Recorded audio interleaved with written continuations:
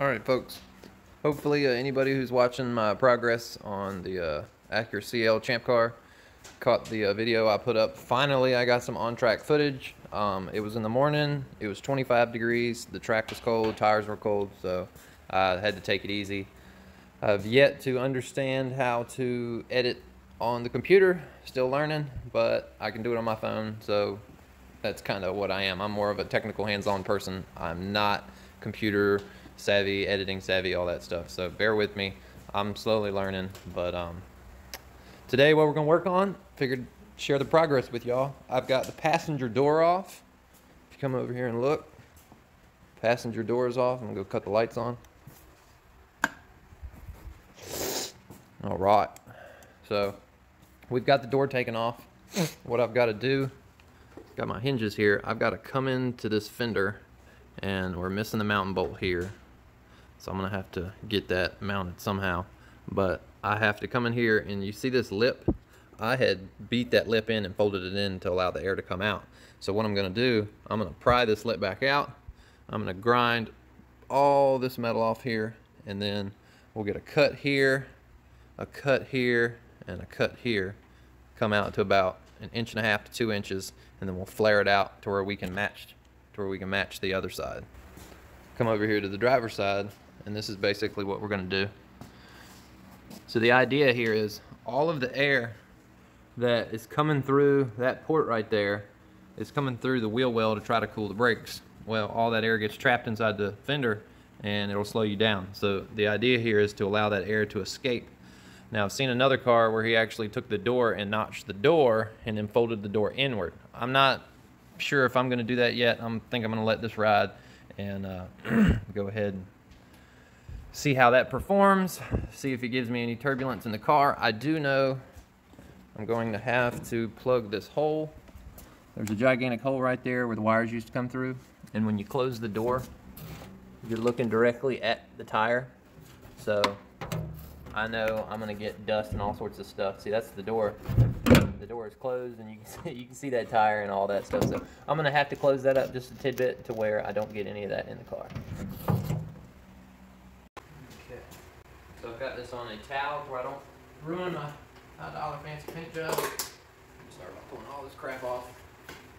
Got a bucket here. Go back and weigh it and figure exactly how much weight I took off the car wanted to show y'all this before I went ahead and started. So when I had the door on the car, I took a can of black spray paint inside the fender well and I sprayed through the, the door area and you can see this is the open area or, or, this is the area where the black spray paint is. So this is the area that is uh, more or less blocking the entrance to where this port here, where I showed you earlier, that's where um, the dirt can come through. So I cannot cut any of this black stuff out. So I'm going to cut right across this top line here and follow it all the way up.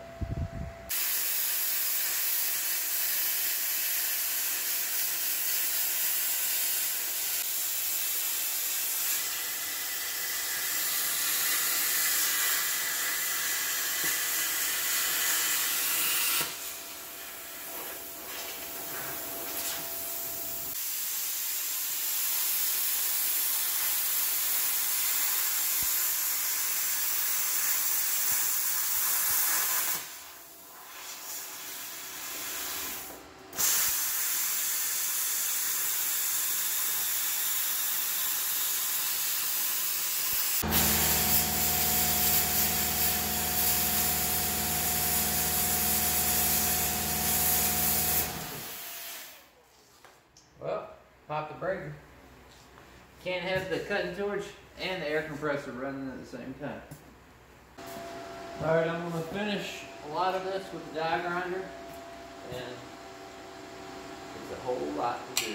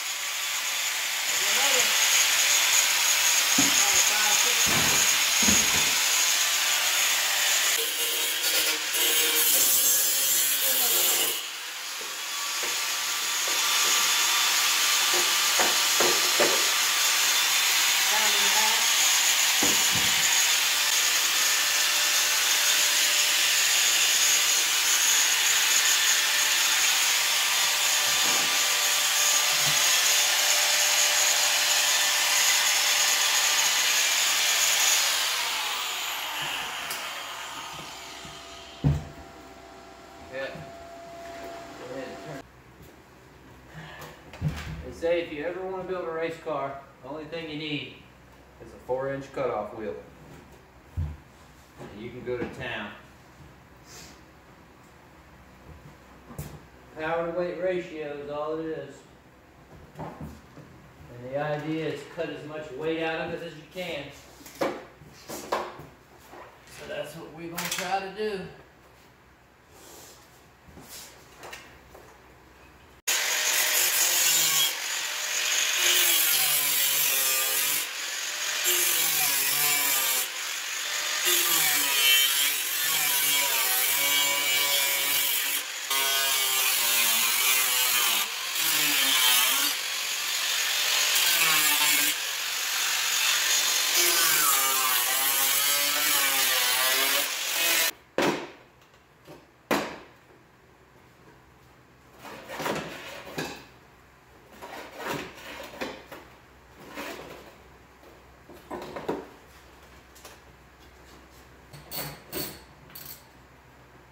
This was my mirror bracket. And um, I think I'm just gonna take all the mirrors off the car. I've got an inner mirror. That's on the driver's side, probably all I need.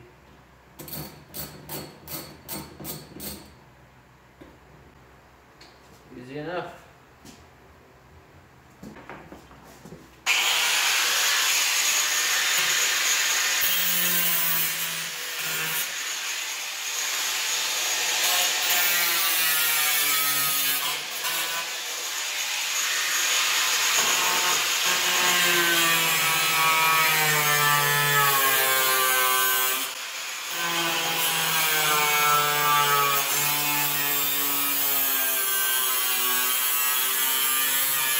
Back to the other side.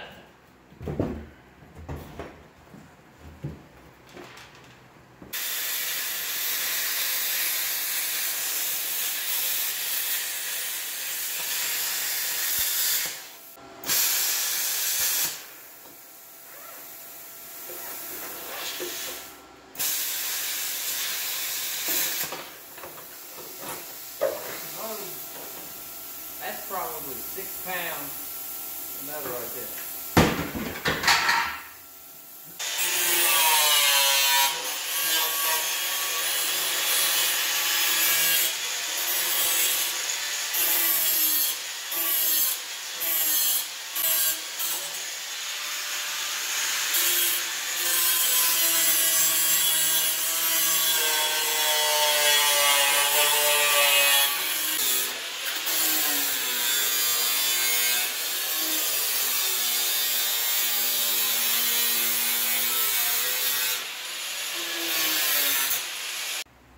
All right, so we come over here and we, this is the door we've been working on, and then this is the driver door. So on the driver door, we have this cut out, just like we have that cut out. Now down here, we've got this cut down. We still have this in the bar, and then we have the bump stop here. So I kept the bump stop so the door closes normally, but I've got all this taken out. So I only have a triangular piece down here at the bottom which will be that triangular piece there. So all of this has got to go. So that's the next step. And what we're gonna do, we're gonna make a judgment call here to not remove one of the bars. And the reason why is, I'll, and I'll show you. This door takes a beating, as you can tell. See all the marks? You got there, you get the big giant yellow mark. You had one down here at the corner, and then there. So the passenger side of the car takes a beating. So the bottom bar, I'm gonna leave because it's hooked to a hinge point here. We can still take this bar out and take it out up here and we'll leave that metal there. That way this door will be rigid and stronger for impact resistance and that bar will still be there. Now these bars, I weighed them. This bar here weighs four pounds. This weighs 4.6 pounds. So we're gonna leave a little bit in there, but that's not bad as far as how much weight we've already taken off. Because you can tell, this box here is starting to get full, especially add that to it.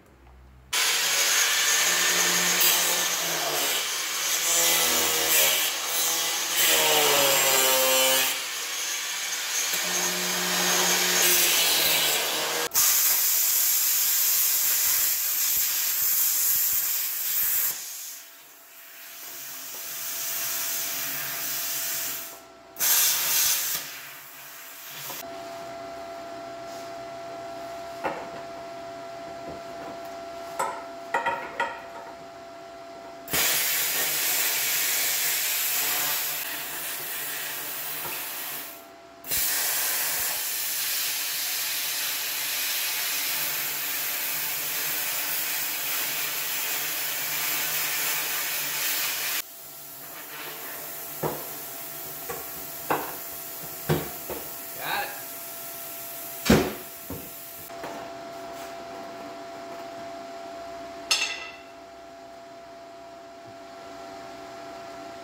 Okay.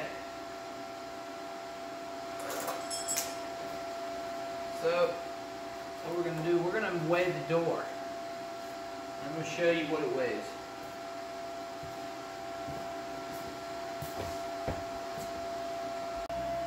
So starting yesterday, this door was 44 pounds. See what it goes to now. 25.4. The other door was 18.5. So basically, by leaving this bar in, and this mount, and this little track of metal here, that ends up giving us, you know, an extra six pounds of metal in there somewhere. But that's not bad. Still got that little piece of rubber to take out. But that's about it for the door removal. As far as all the metal we can get off of it. We've got a big old box of trash right here.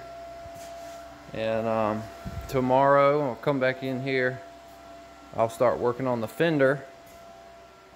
And if I get time, it's almost Christmas, so we'll work on the fender. We'll get it all mounted. And uh, we'll see how it looks. And then hopefully in a, a week or so, I'll put some new tires on the front, take it to the dyno. We'll see what it makes.